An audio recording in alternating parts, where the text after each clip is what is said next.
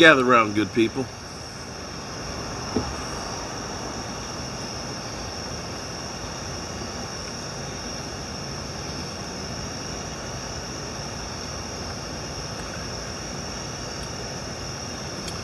Twas the night before Tampa, and all through the house,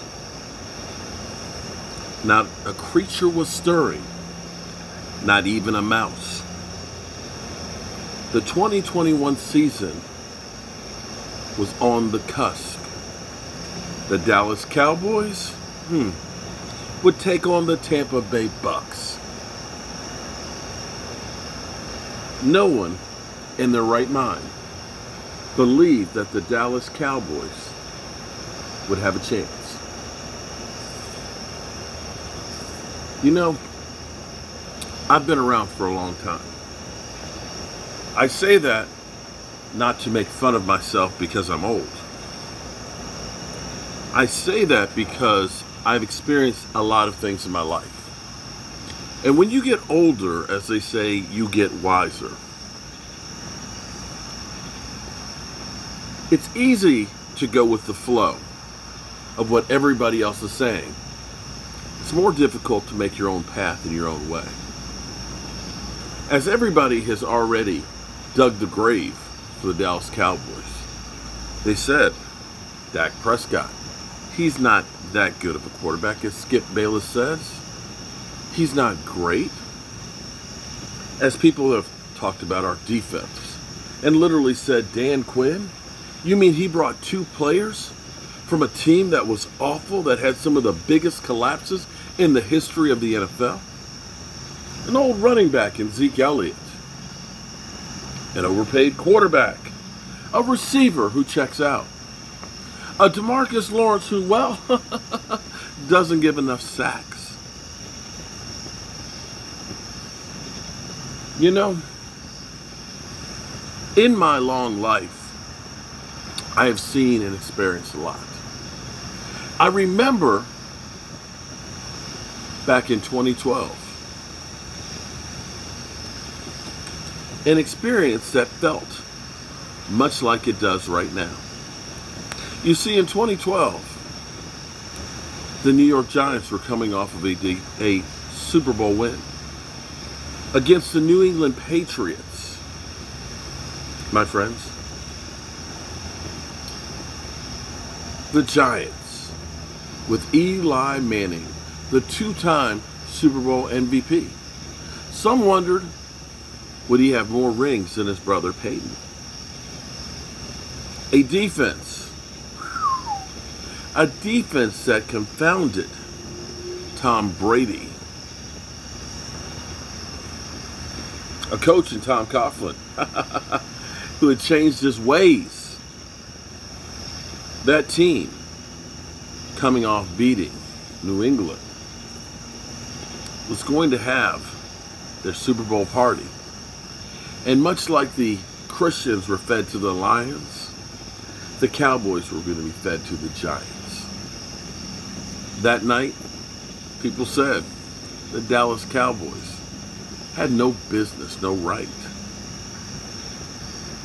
But I'm going to tell you, that against all odds, I witnessed that Dallas Cowboys team, that 8 and 8 disaster of a team, come out on that Thursday night up in New York.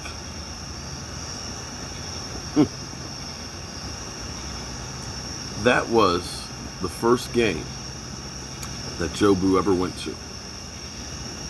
The New York Giants. Some thought Eli Manning was the beginning of a dynasty for the Giants.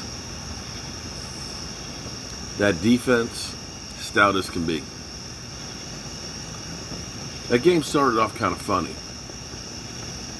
I remember because I was in the end zone watching it all unfold. Tony Romo did what Tony Romo sometimes had done. A Tony Ono. He went back, he threw across his body, threw to the left, it was picked off ashore. pick six, where everybody thought the route was on. Yet, a young Tyron Smith said, oh hell no, no way. Stopped him on the way to the three yard line.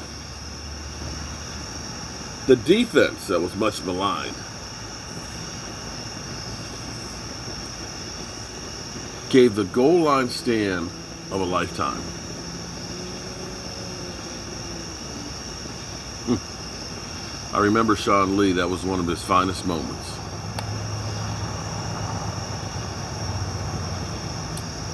That defense held up, held him to a field goal. And I believe to this day, had Tyron Smith not made that stop, the Cowboys get blown out that night. But yet here we are. The first time defending Super Bowl champion opening up Thursday night football had lost in their own house. Yeah, I'm old. I've seen a lot. And when you tell me that the Dallas Cowboys have no chance against the Tampa Bay Buccaneers, I say I've seen it happen, friends. I've seen it happen.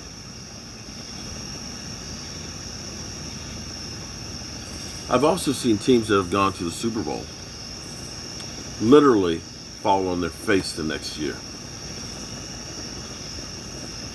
The question you have to ask yourself is can Tom Brady and an aging Tampa Bay team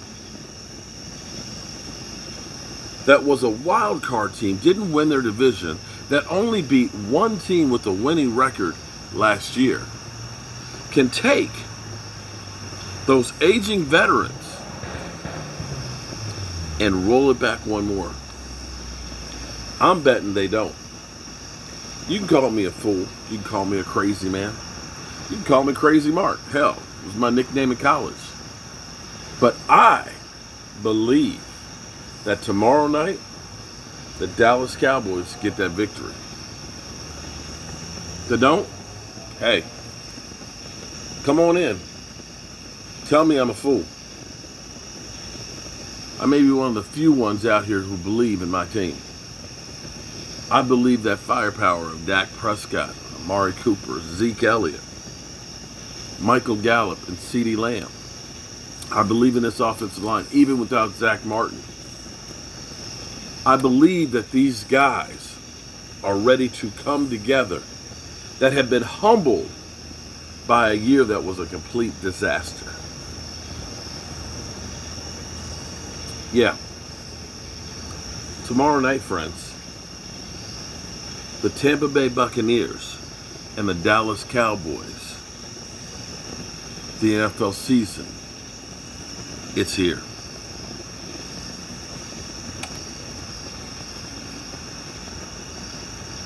Watch my defense tomorrow. We've turned the page on 2020. You watch. It's a new Dallas Cowboys team. Forget about all those other years.